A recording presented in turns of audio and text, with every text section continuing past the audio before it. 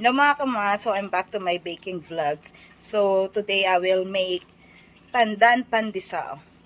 I just realized na merong ube pandesal, so why not try pandan pandesal? And madami akong pandan flavoring, so let's make it.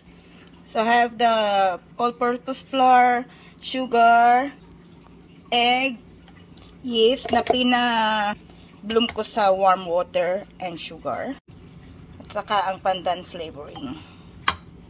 Tapos mamaya ako lalagyan ng salt kasi para hindi mamatay yung git.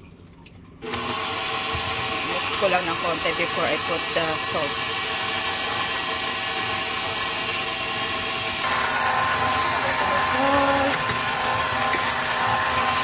Just keep mixing guys. Keep kneading lang guys. Okay? Put butter. Wala kayong butter, pwedeng oil, guys. Yan, almost na siya, guys. So, kung maging okay yung consistency niya, 5 to 10 minutes na kneading. Ayan, guys. Perfect na yan para sa akin.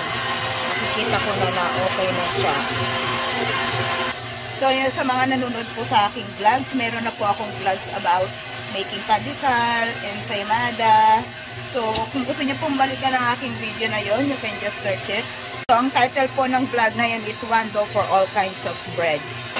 So, yan guys. Perfect na perfect na yan sa akin. Uh, kukunin ko lang siya at transfer ko na siya sa aking oiled bowl. Ayan guys, so, in-sprayan ko na siya ng cooking spray. Tapos diyan ko ilalagay yung dough. So, ayan guys, i-roll niyo lang ng ganyan in a round shape. And then, ilagay sa oiled bowl. Tapos, takpan nyo ng cling wrap or ng cheesecloth. So, ayan. Na-cover ko na ng cling wrap. Tapos, i-rest lang natin siya at hintayin na mag-rise mga almost an hour. Guys, ayan na oh. So, ang ganda, ganda ng kinalabasan. Guys, ayan.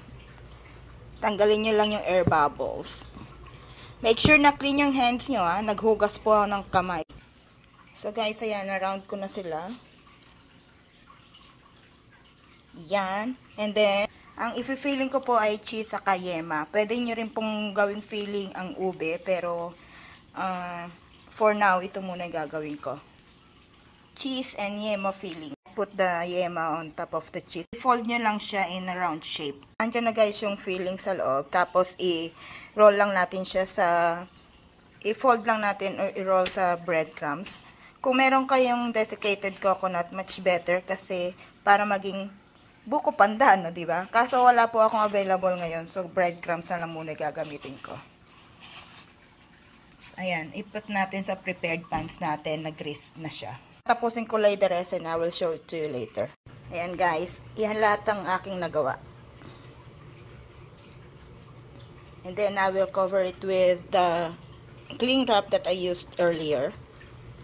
Ayan. And then, I need to proof it again, guys. Ipo-proof natin. And then, after ma-proof, pwede nang i-bake.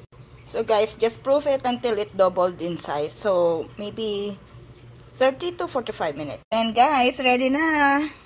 Ready na for baking. So, I preheated my oven at 350 Fahrenheit.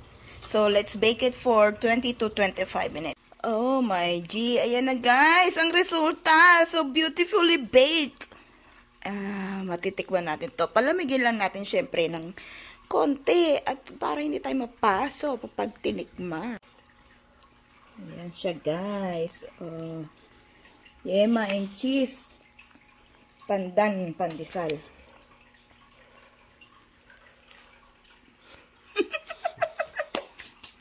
mm. How's it? Mm.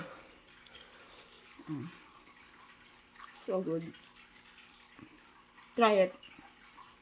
Try.